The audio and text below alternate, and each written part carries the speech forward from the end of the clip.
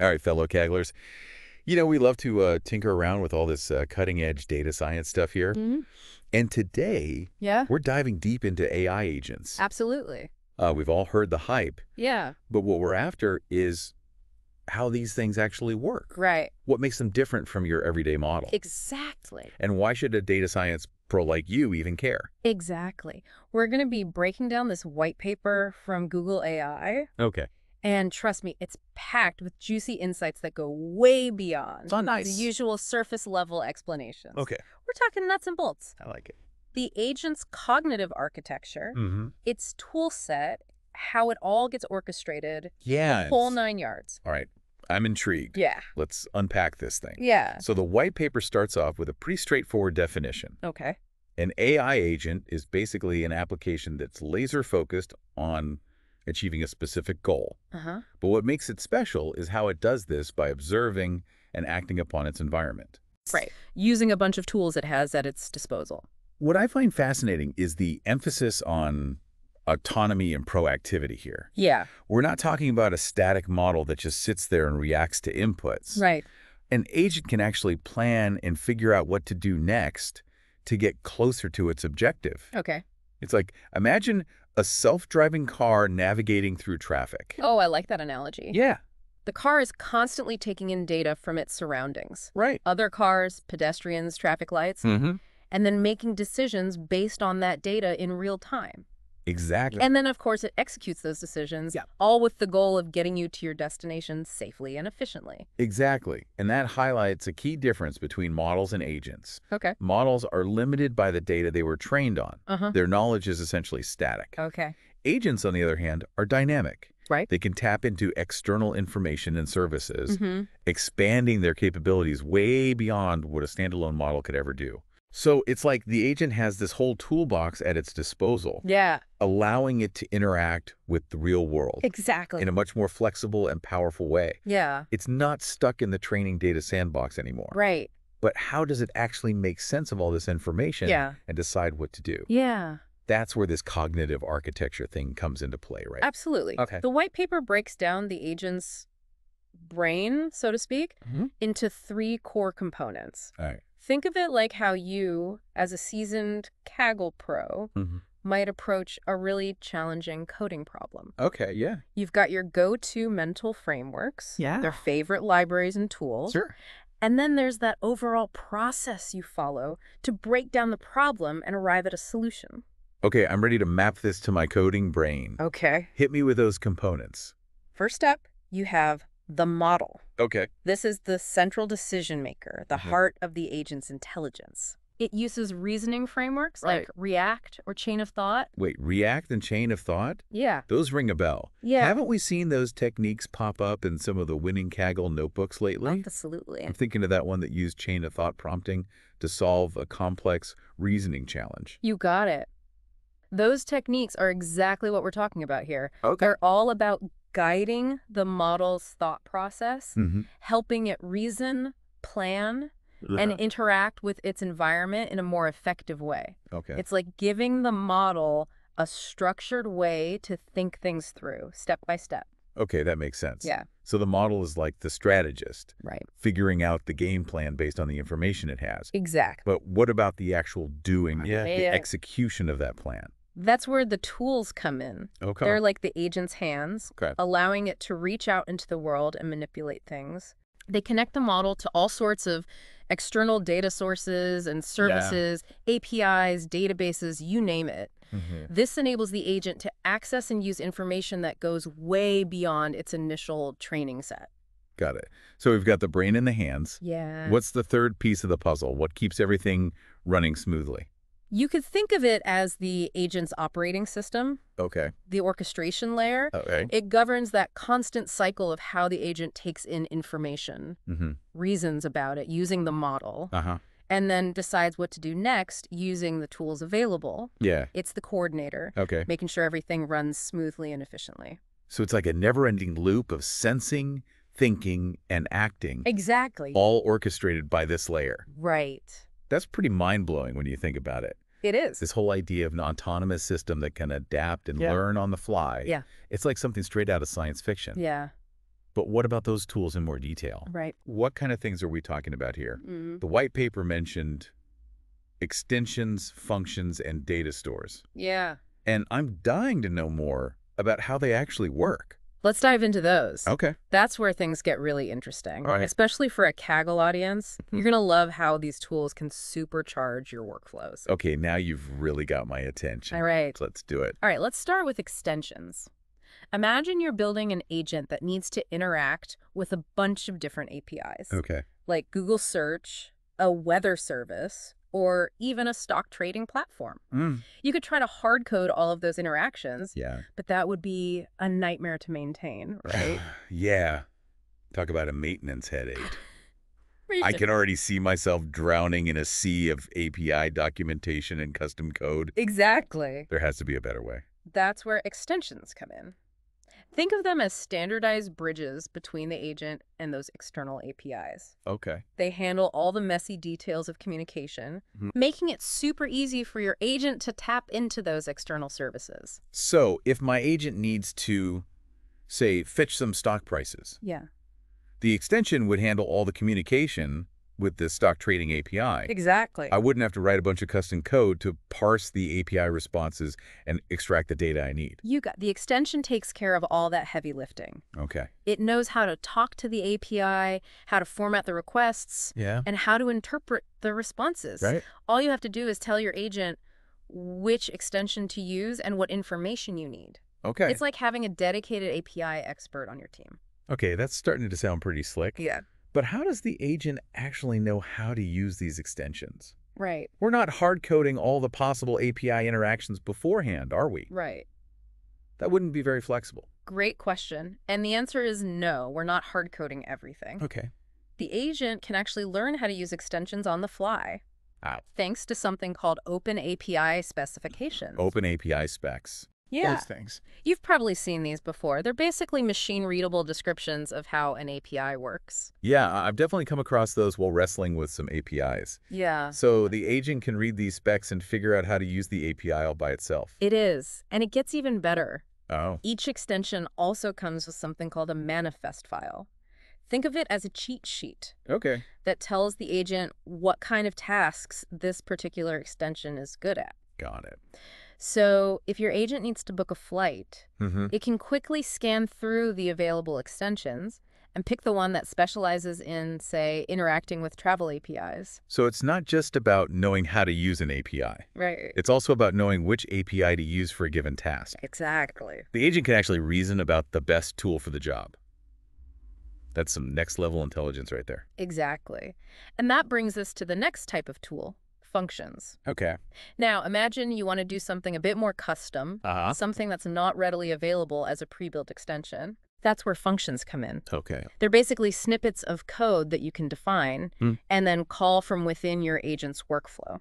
So it's like giving the agent the ability to execute custom code on demand. Exactly. That opens up a whole world of possibilities. And the cool thing about functions is that they run on the client side. Okay. So let's say your agent needs to perform some complex calculation or process some data in a specific way. Yeah. You can define a function for that, mhm. and the agent will execute it locally without having to rely on an external API. Okay, so functions give you a lot of flexibility and control over the agent's behavior. Yeah. You can essentially extend its capabilities with custom code. What about data stores? Okay. What's their role in all of this? Data stores are all about getting your agent access to a wealth of information beyond its initial training data. Mm, Remember how we talked about agents being able to tap into external data sources? Yeah. Well, data stores are a key part of that. So instead of just having a static snapshot of the world, Right. the agent can access real-time information that's constantly being updated. Precisely. Think of it like this.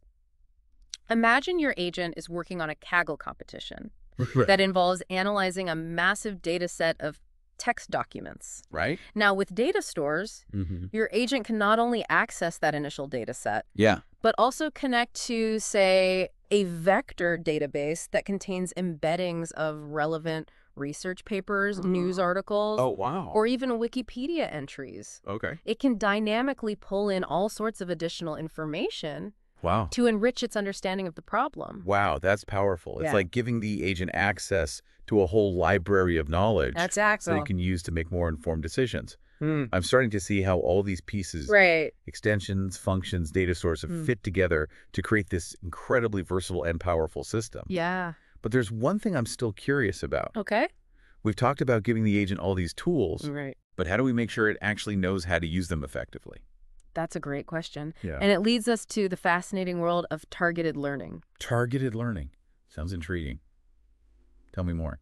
All right. Targeted learning.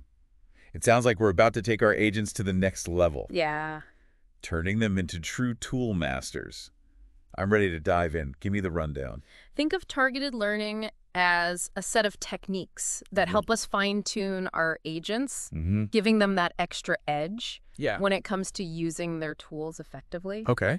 The white paper outlines three main approaches Right. in context learning, Okay. retrieval based in context learning, Okay. and fine tuning based learning. Got it. Each one has its own strengths, Uh-huh. and choosing the right approach depends on the specific task you're trying to solve. Okay. Those names sound a bit intimidating, like something out of a research paper. Yeah. Can you break them down for me? Let's start with in-context learning. Okay. What's the basic idea there? Imagine you're a chef learning a new dish. Okay. You've got the recipe in front of you, Mm-hmm. some sample ingredients to work with, Hmm.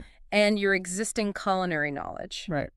In context, learning is kind of like that for models. Okay. We provide them with a prompt, Mm-hmm. the relevant tools, Yep. and a few examples at inference time, Okay. allowing them to adapt and learn in the moment. So we're not pre-training the model on a massive data set of cooking instructions beforehand. Right. We're just giving it enough information to figure things out on the fly, Exactly. like a chef improvising in the kitchen. it's a really efficient way to equip a model for a specific task Okay. without having to do extensive training beforehand. Yeah. It's all about giving the model just enough context to get the job done. Okay, I'm getting the hang of it. No. Now, what about retrieval-based in-context learning? All right? How does that differ from the regular in-context learning? Let's go back to our chef analogy. Okay. Now, Mm.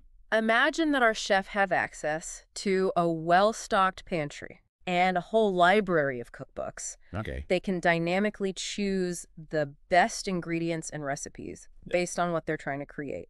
Why? That's what retrieval-based in-context learning does for models. Okay. It gives them access to external data sources hmm and allows them to pull in the most relevant information and examples on the fly. So it's like having a super-powered search engine Yeah, built right into the agent. exactly. It can search through all sorts of external knowledge Right. and find exactly what it needs to solve the problem at hand. You got it. And the best part is that this external knowledge can be anything. Okay. Research papers, Mhm. code repositories, Yeah. news articles, Okay. databases, you name it. So it's like giving the agent the ability to tap into the collective wisdom of the internet. Exactly. Wow, that's pretty mind-blowing. Yeah. It's like the agent is constantly expanding its knowledge base, learning from everything it encounters. Yeah.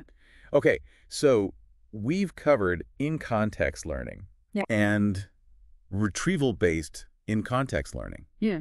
What about fine-tuning based learning? All right. Is that more about traditional model training? Exactly. Fine tuning based learning is like sending our chef to culinary school. Okay. We train the model on a larger, more specialized data set beforehand, Mhm. giving it a deeper understanding of a particular domain. Okay. For example, if we know our agent will be dealing with a lot of natural language tasks, Yeah, we might fine tune it on a massive data set of text and code. got it. Or if our agent needs to be an expert in a particular scientific field, Okay. we might fine tune it on a collection of research papers and data sets from that field. So it's like giving the model a head start in a specific area of expertise. Right. It's already familiar with the key concepts, Yeah, the terminology, and the types of problems it's likely to encounter. precisely. And the beauty of these targeted learning techniques is that we can combine them, Okay. leveraging their strengths for different scenarios. Uh-huh. For instance, we might start with a pre-trained model, Yeah. fine tune it on a domain-specific data set, and then use in-context learning and retrieval-based in-context learning to further adapt it to specific tasks. It's like we're creating these incredibly versatile and powerful AI agents Yeah. that can handle all sorts of complex challenges. Exactly. I have to say, this is all incredibly exciting. But how does all of this translate into actual code? Right. I'm a Kaggle user. Yeah. I like to get my hands dirty and build things. Yeah. How can I start creating my own agents? That's the perfect question. And the white paper actually introduces a tool that's becoming incredibly popular in the AI agent world, LangChain. LangChain, I've been hearing that name everywhere lately. It's everywhere. Seems like everyone in the AI space is talking about it. What's the big deal? Uh-huh. What makes it so special for building agents? Well, imagine you have all these amazing tools, Yeah. your model, Well, your yeah. extensions, your Yeah. functions, your data stores, Okay. but you need a way to orchestrate them, to connect them together into a seamless workflow. Mm-hmm. That's where LangChain comes in. Okay. It's essentially a framework that lets you chain together all these different components, Yeah. creating powerful and sophisticated agent pipelines. So it's like a high-level programming language Yeah. specifically designed for building agents. You could say that it provides a really intuitive and flexible way to define the agent's behavior, Okay. specifying which tools to use, in what order, uh-huh. and how to handle the data that flows between them. Got it. And the best part is that it's open source, Oh, nice. so you can start experimenting with it right away. Okay, that sounds awesome. I'm definitely going to check out LangChain after this. Yeah, But can you give me a concrete example of how it all works? sure.